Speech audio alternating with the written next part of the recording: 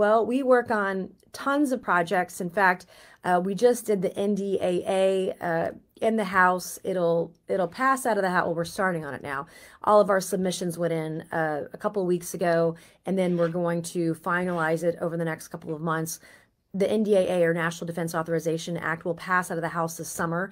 But we do a lot of work in the NDAA, uh, especially looking at what's needed for our local bases and industry supporting those bases is really important. Also, you should note that I have um, acquired over 500 million in authorizations or appropriations for the district, over 500 million. So if there is a local entity, a county, um, government organization, agency, etc., when they find a grant, for example, our office, like I'll turn around grant letters within 24 hours. Usually, are we usually do, and so um, we really pride ourselves on you know being able to provide resources and get results for the Lowcountry.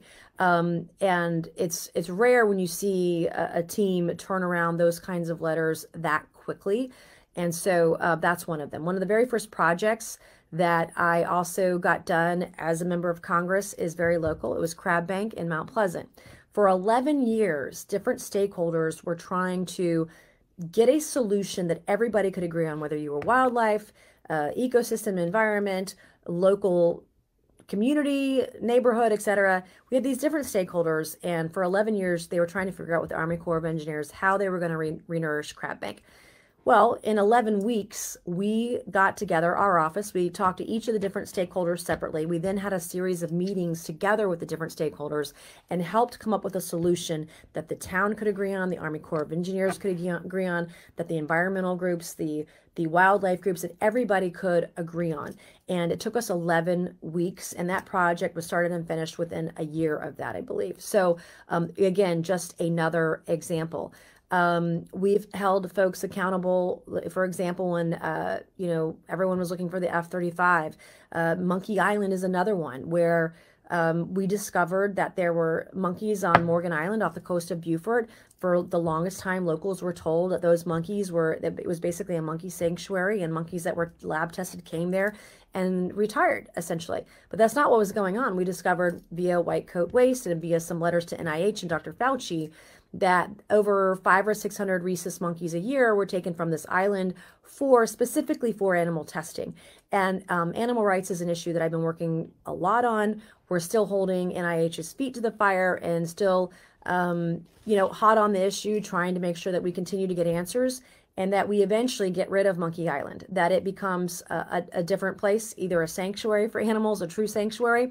We want to make sure that that uh, animals aren't unnecessarily tested on by the government or anyone else. So um, that's something that we have worked on as well extensively.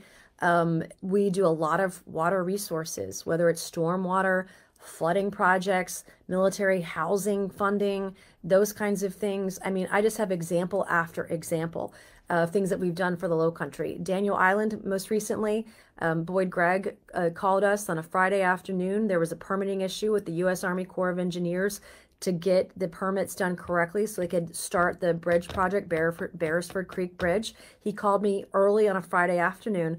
By 5 p.m., by close of business that day, we had a solution we got the permitting expedited with the Army Corps of Engineers, and they were able to check that box and get started on that project. It'll still be several more months before the, the bridge is done, but that's something we did in one afternoon.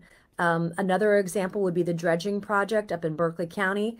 Um, Johnny Cribb called me. Again, I don't know what it is with people calling on a Friday afternoon. Called me on a Friday afternoon. They were having an issue again with the U.S. Army Corps of Engineers and they were going to lose $20,000 a day starting the following Monday. Starting, that was a Friday, starting Monday, they were going to lose $20,000 a day if they didn't get the permit to go through.